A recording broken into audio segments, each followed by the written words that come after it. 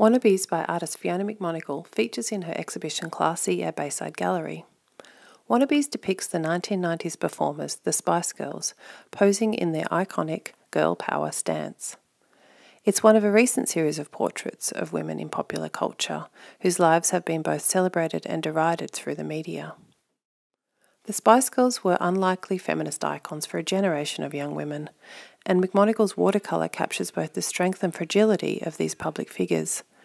As Kathy Acker wrote in her now famous interview with the Spice Girls in 1997, they both are and represent a voice that has too long been repressed, the voices of young women, and just as important, of women not from the educated classes.